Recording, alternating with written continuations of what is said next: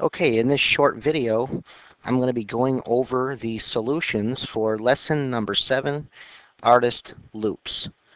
So as we look at the first one here, you can see that your goal is to draw the robot's head. So you're going to repeat the same thing four times by moving forward 100 pixels and turning right by 90 degrees.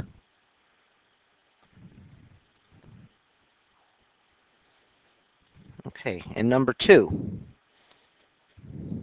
your goal here is to do the same thing, but this time you can only use one move forward block and one turn block at this time. So you can use the repeat to solve the puzzle. So what we did was we repeated four times, moving forward and turning right. Number three. Try to figure out what happens if you run this code.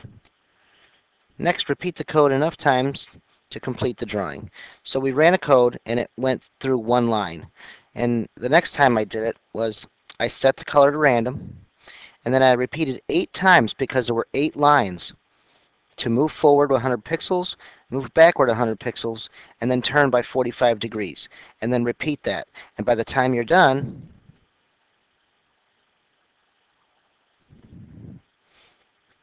you complete it. Number four. Number four, when you run, you're going to repeat 375 times, set the color to random, move forward 100 pixels, pixels, back 100 pixels, and then turn right by one degree. This is what it looks like.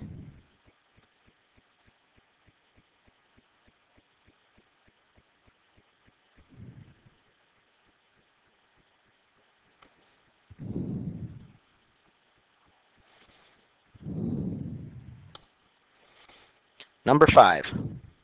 Number five says to give the stop sign a border by making an octagon with 100 pixel sides.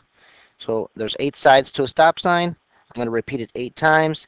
I set the color, and I'm going to move forward 100 pixels and turn right by 45 degrees since these angles are all 45 degrees.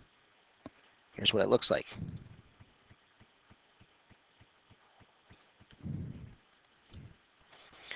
Number six.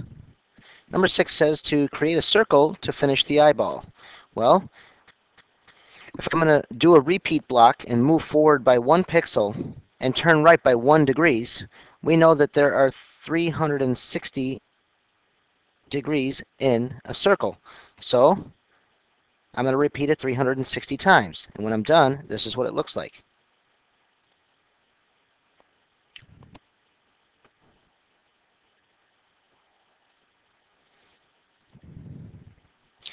Number seven, draw a simple V to complete the arrow. Both sides of the V are 50 pixels. So I'm going to set the color. I'm going to turn right by 45 degrees to set my, my pencil straight. And then I'm going to move forward 50 pixels, turn left by 90 degrees since the tip is 90 degrees. And then I'm going to move forward another 50 pixels. Here's what it looks like.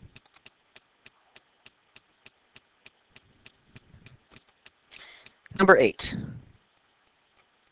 Number eight says let's connect a bunch of V's together in a loop. So there were eight times that I had to do the same process over again. So I'm going to use the repeat block for eight times. I'm going to turn right by 45 degrees to set my pencil straight, move forward by 50 pixels, turn left at 90 degrees to get through my V, and then I'm going to move forward by 50 pixels to get through the straight line. So here's what it looks like.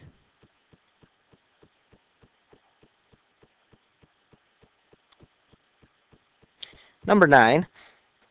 So here it says to rebuild the code from the last puzzle, but this time add a left turn of 30 degrees inside the loop. Now repeat it 24 times instead of 8 times. So I have a repeat block for 24 times. Again, using the same one from the last challenge at number 8, I am now going to add a left turn at 30 degrees, which is at the bottom here. And here's what it ends up looking like.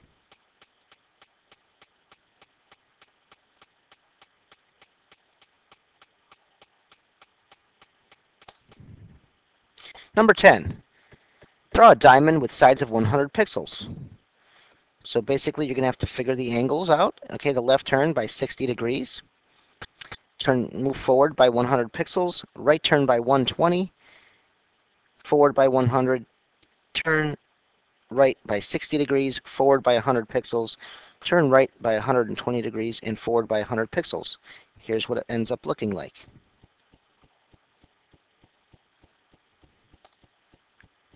Number 11. We're going to start you with some code to make the diamond. So loop the gray code to create a fun pattern. And this ends up being like an isometric cube when you're done. You have a repeat block of three times because there's three surfaces to this block that you see. So I'm going to set a random color and then turn left by 60 degrees, forward by 100 pixels, right by 120, forward by 100, right by 60, forward by 100, right by 120, and forward by 100.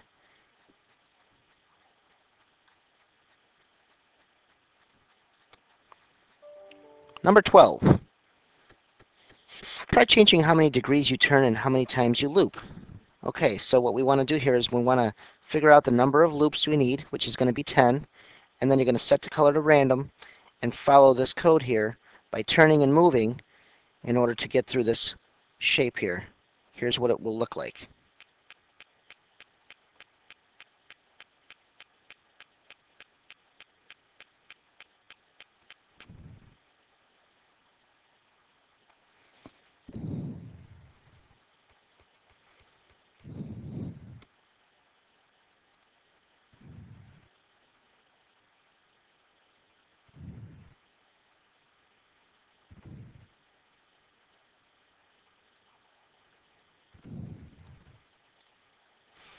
Number 13, draw anything you like. So I made a pattern and I just added some motions in there and turns.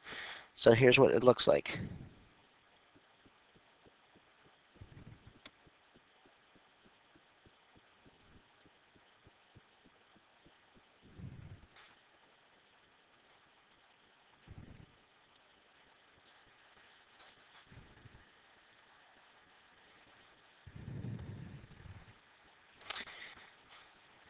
Okay, then I had to do the matching for number 14.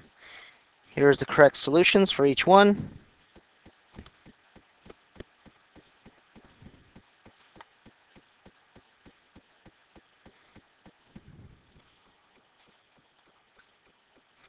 And the next one here, the correct solution was here. It's already selected. And last but not least, number 16. I chose this one here because I knew my turns were 60 degrees. And that's about it.